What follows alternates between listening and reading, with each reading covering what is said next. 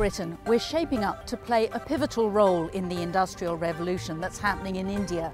The UK is a pioneer in advanced engineering and its capabilities in innovation, design, systems and quality are supporting India's ambitions to compete at the cutting edge and to meet the expectations of millions of new consumers. Aside from solving immediate challenges, these collaborations are starting to have much wider implications. Between them, Britain and India are fast discovering the scope for co-creating and co-producing entirely new sources of engineering value. The UK has a lot to contribute to India's upgrading of its industrial and manufacturing performance.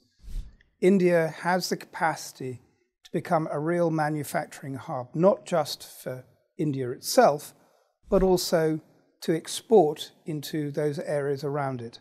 And the UK has a, a real role to play in that growth. UK is developing, has developed, and will develop technologies in manufacturing, both process technology and also product technology, which Indian industry can use in order to catalyze its performance. Once again, we've seen tremendous growth here, and I think when I look at India and the development, particularly of what we call advanced manufacturing, the development of key sectors such as those in the clusters that we're seeing down in Bangalore, once again, uh, when we compare it with perhaps the, their neighbour, China, we're seeing significant growth rates here of an average 7 8% a year. As in India, as in some of the other Eastern Asian countries, these growth rates have been tremendous. It has been an enormous and an ongoing uh, tr enormous transformation. On the Innovation Campus at the University of Wolverhampton in Telford, revolutionary techniques in industrial design and supply are being explored and applied. Providing a comprehensive engineering education, their aim is to ready students for industry.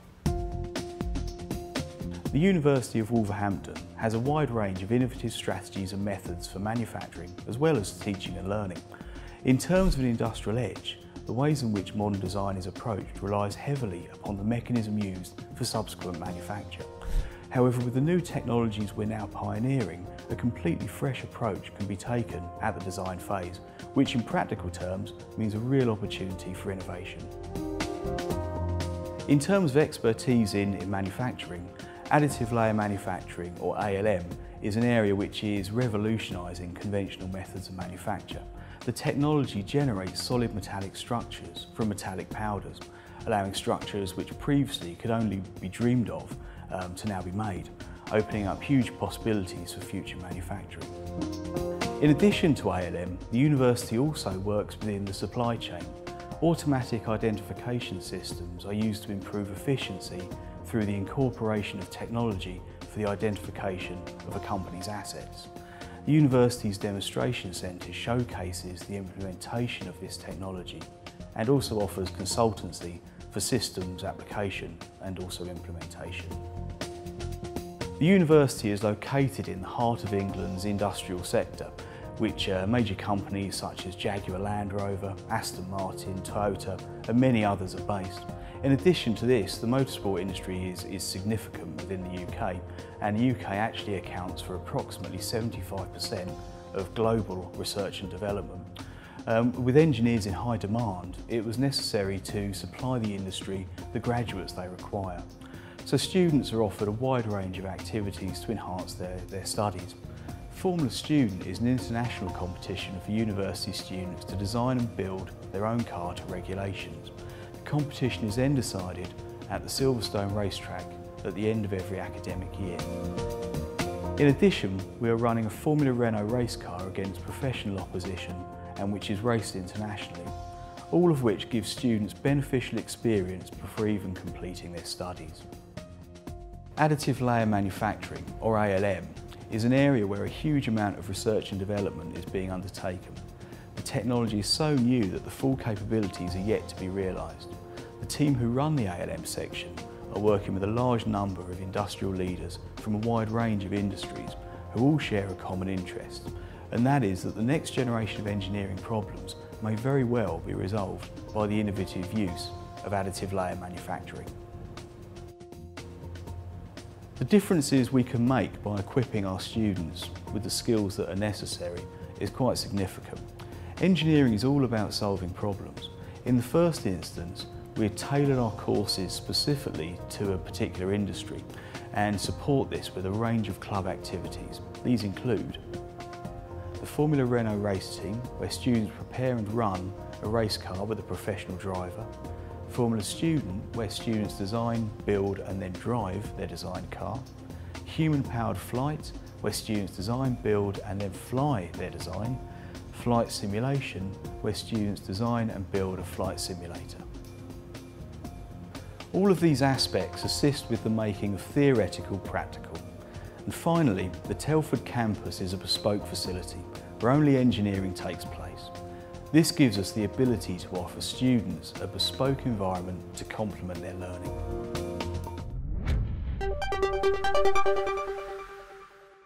Indian companies can best draw on the UK's knowledge in design and technology by engaging with UK companies and also UK companies engaging with Indian companies. The UK India Business Council regularly forms fora in which the two uh, parties, UK and Indian companies, can meet and discuss common issues, common market practices, etc. And out of that engagement comes ideas and projects. Some of the projects that we're working on at the present moment involve um, strengthening the linkages between academia and between the corporate in order to generate innovation in process technology as well as product technology. Ideas that are coming out are looking at 3D printing, are looking at how we can strengthen and improve engineering around um, oil and exploration development, looking at issues around civil aviation and improving techniques in, in the manufacturing of the various components that go into these. These are all areas where the collaboration is active and ongoing and will strengthen. There's a very substantial opportunity in terms of Asian countries sourcing technology and the products that lie behind those technologies uh, in partnership, I would say, uh, with UK. Uh, even with the, the growing strength of many of these Asian economies, even uh, the mighty tiger itself, China, uh, India, and some of the other ASEAN countries, that not every nation can have complete sectoral coverage of manufacturing and in engineering technology. We in the UK have some very, very strong industrial sectors, world leaders. And I look, for example, at aerospace, I look at automotive, I look at advanced electronics, I look at pharmaceuticals, and therefore there's enormous opportunity for British companies to partner uh, with many Eastern Asian countries in further developing the technologies of the future and of course opening up developing markets as we and they go. The appetite for innovation is high. The challenge often lies in how best to transfer Britain's knowledge in developing top-line solutions. At Severn Glocon, ways are being found to create more value locally and to develop skills in its customers. At Severn Glocon we've been looking at the potential for uh, our innovative technologies in, in Asia. It's a very interesting market. The, the Asian market is generally quite innovative and quite forward thinking and uh, has always been interested in new products. Perhaps the more difficult thing is actually the culture of how to contract and how to introduce.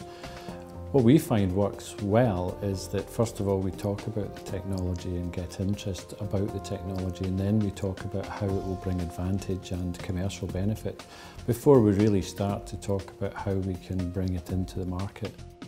Well, Severn Glocon is all about uh, developing, designing and manufacturing products for extreme uh, uh, challenges. It's what we've been doing for the last 50 years. We work in uh, low temperature cryogenic applications, we work in high temperature steam applications. So it's something that we as a business are very used to, but it's never anything other than a challenge. Technically it's a challenge. We have to design, we have to innovate, we have to use the best of the skills that are available to us, but perhaps more importantly, we use the experience that comes from our repair intelligence process, which allows us to understand how products act in the field over the long term, how they might fail, how we can improve them, and then generally uh, improve our products by continuous improvement rather than research and development is a very effective way of dealing with the challenges of such extreme uh, markets because you're not just seeking to find a solution, you're developing a solution over time. Innovation is part and parcel of the very ethos of our business. Uh, we work with universities to develop uh, new products. We look at uh, how we can take existing products and develop them further by innovative thoughts. We, we use our engineering expertise not in the short term but in the long term. It's a very core part of our business. Severn Glocon has over the last uh, seven or eight years been developing a substantial infrastructure. Uh, we started with uh, developing new factories in the UK, but have since uh, developed uh, and expanded further uh, major factories in, in, in Asia, particularly in India. But the way in which to fulfill capacity, but also to help the market, is to, to look at a localization strategy, to not just do all of the manufacturing in major centres, but to look at what we can do in terms of completion or testing or, or using local resources to provide value locally, but also to give us ex extra capacity. So yes, we can improve our factories, yes, we can put more factories into demanding markets, but a really good and valuable way to progress our business and to help local uh, localization strategy is to put uh, smaller, more flexible completion facilities in, in smaller markets. For the last 10 years, we've been taking uh, core uh, engineering people and putting them into new markets as we grew them, into Brazil, into the Middle East, into Southeast Asia, into China, so that we can put skills there who can work closely with our customers to understand the applications and to understand the technology. But of course that's not really sustainable in the long term, so part of that plan is also to develop local skills. So we use our, our expatriate uh, specialists to train, develop and to put competence and experience into the local workforce so that they can then take over in the long term and expand our capability. That gets us the business, but then we have to deliver it. So it's important also that we do uh, skills training at a vocational level, so training technicians. So it's two things. It's about making sure that you put skills in to work with our customers in the first place, and then making sure in the long term we've developed uh, sustainable skills locally.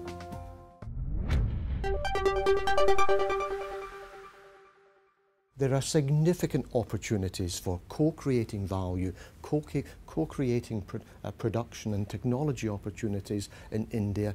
I think one of the most high profile and one of the most important indeed for the British economy of course has been the Tata investment not just in Corus Steel as it was called but in helping to develop or rather redevelop one of our most successful car companies in terms of JLR. And of course it works both ways. We're seeing significant British investment in India in terms of plants, of course, at Bangalore. And I look at one of our mid-sized member companies, Essentra Filtrona, as it used to be called, in terms of developing, buying up plant and capacity uh, in a, a new factory at Bangalore. But let us be clear, the days of pure market penetration, I believe, are long gone. This is about co-production and co-creation of value. We're seeing productive partnerships across a whole area, range of areas in, in between India and the, and the UK. And it really is, it really is quite exciting. If you look at in the area of uh, defense, for instance, there are collaborations between uh, Indian companies, the Mahindras, with uh, companies in, in the UK, uh, BAE, for instance, Rolls Royce, for instance. If you look at the Tata organization, there are collaborations that are occurring um, it, with UK companies as well. It's across the range that we're seeing companies wanting to talk to companies, collaborate, develop their techniques, and then roll them out in ways that are most efficient.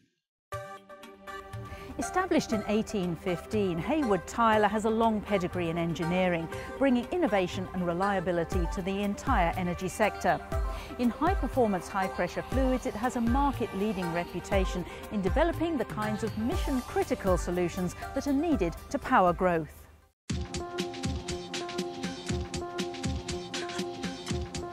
Well, there's a huge opportunity for Hayward Tyler within the Asian markets. If you look at what we do, our kit is all about making fossil-fired power stations more efficient. Three quarters of the coal-fired power stations being built over the next 25, 30 years are going to be out of India and China. And we're well placed as the global market leader in boiler circulating pumps to take advantage of that. Very much looking forward to the opportunities, as we have done over the last 10, 20, 30 years, continuing to expand in this key area for us. We're one of the oldest engineering companies in the UK, so we've got a rich and proud history on which we can draw. Our core product, the boiler circulating pump, we invented it uh, over 50 years ago. We've evolved the design of that product as we've seen our marketplace change to supercritical to ultra supercritical designs and that stands us in very good stead as we look to develop and further enhance our brand within the Asian market. As a great British company, we're very well placed to compete on the world stage. We've got a fantastic brand, well renowned for reliability, got a good heritage, and if you look at the end markets in which we operate, reliability is absolutely key.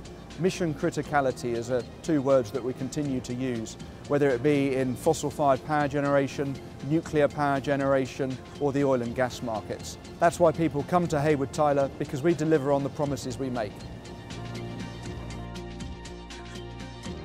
Well, the way that we've engaged with the markets in Asia is really by directly to start with. It's all about relationships. These markets are not markets that you can go in and out of pretty quickly. These are relationships that we've built up over many decades. We first went into the Chinese market way back in 1978. We've got a big installed base within China. So we're either working directly with our customers or we're working via trusted agents or we've been able to call on the wider resources of the UKTI, in China for instance the CBBC, um, and within other geographies that the local UK government support. Well, we're looking to develop strategic relationships with our customers. If you look at our history, you know, we invented the world's first submersible motor, we invented the world's first sealless pump. Most recently, we've delivered the world's largest fluid-filled motor for subsea environment. We have a rich history of research and development and innovation, and we're looking to partner with our customers to make sure that they can deliver what they need to to their end customer. Well, over the last few years, we've been through a, a continuous improvement exercise. We've looked at the continuous improvement of our people, of our products, and of our processes. And we've seen the benefits of that continuous improvement across the entire group. Most recently, we've been recognised as best in class by the likes of Rolls-Royce. We've won awards for our manufacturing information systems. We've won awards for the training and development of our people, all of which stand us in great stead to ultimately deliver on our promises to our customers. Well, our capabilities, ultimately the customers come to us because we deliver on the promise that we make to them. It's about being on time in full, it's about being right first time, it's about engineering excellence. We have the brand, we have the pedigree, we have the heritage to ultimately be able to deliver against that and that's why we're the market leader in mission critical applications when it comes to difficult to handle fluids high pressure, high temperature.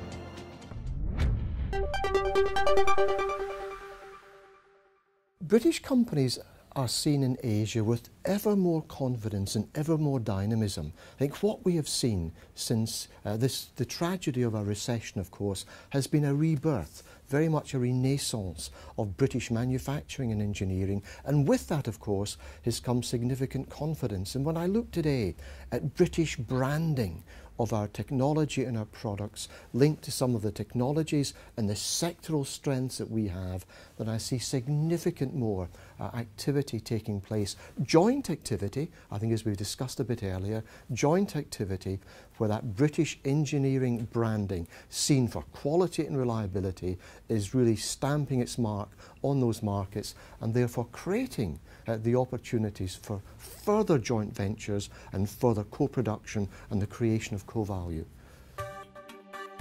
As millions move into the cities and start buying packaged goods, expectations about safety and performance are rising amongst consumers and regulators. As a specialist in product inspection, Mettler Toledo is helping manufacturers to develop systems, sensors and solutions to operate at scale.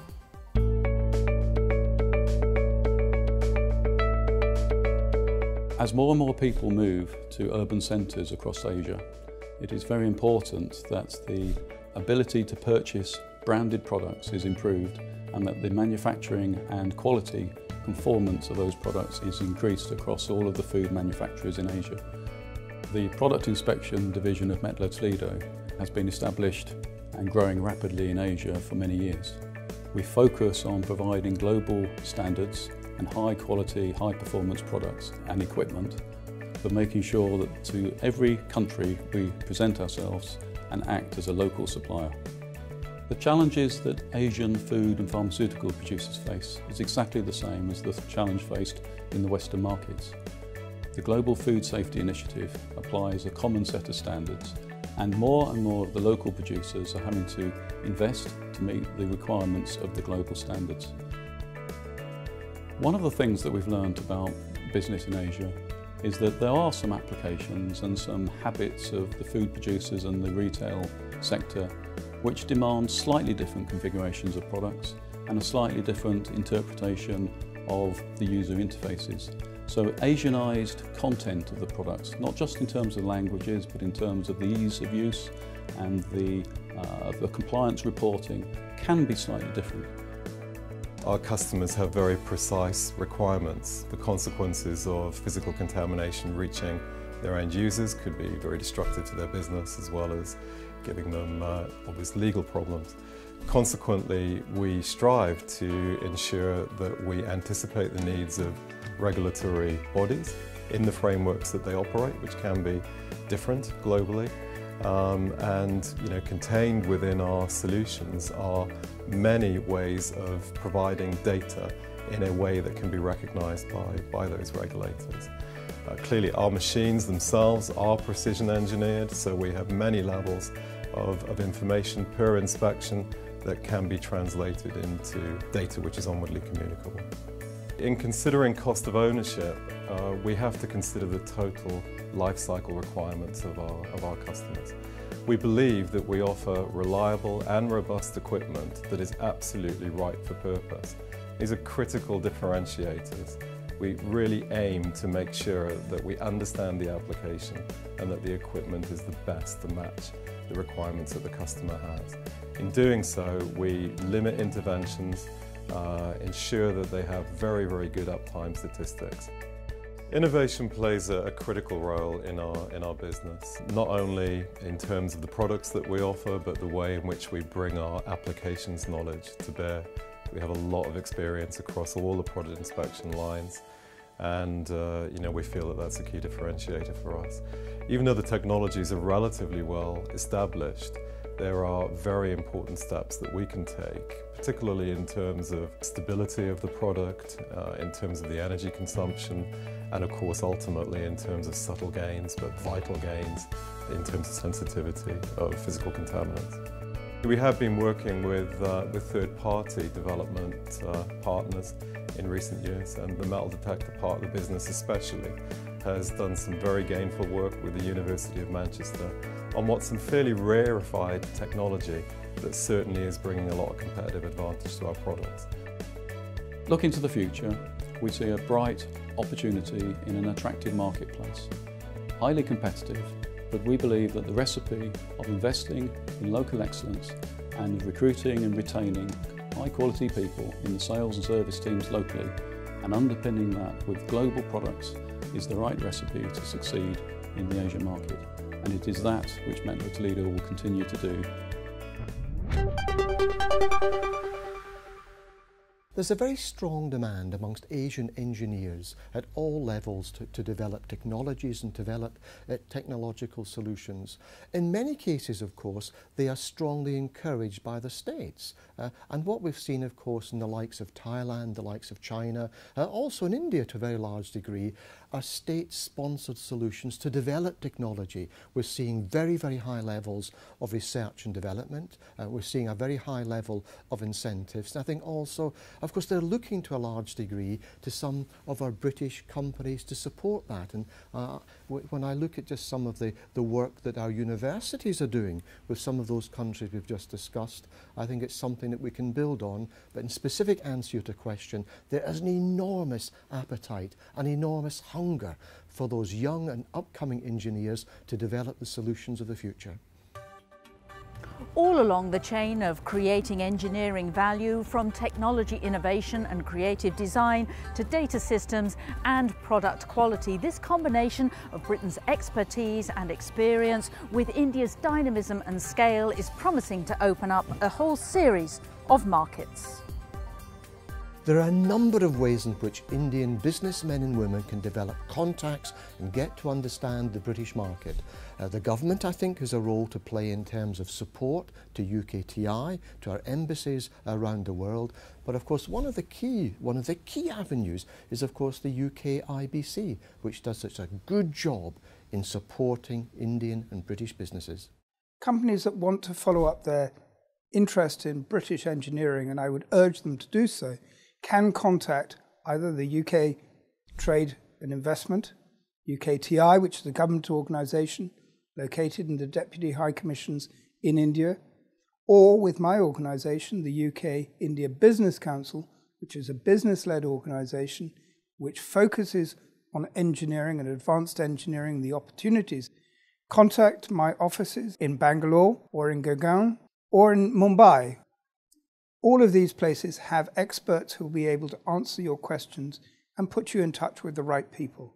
But I do urge you to contact us to get that information. Well, that's all we've got time for at the moment, but if you'd like to know more about any of the organisations that we featured in the programme, then visit our website, thebusinesschannel.tv. Bye bye for now.